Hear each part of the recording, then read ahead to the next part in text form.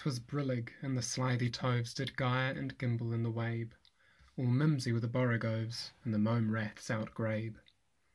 Beware the Jabberwock, my son, the jaws that bite, the claws that catch, Beware the Jubjub bird, and shun the frumious Bandersnatch. He took his vorpal sword in hand, long time the Manxome foe he sought, So rested he by the Tumtum tree, and stood awhile in thought.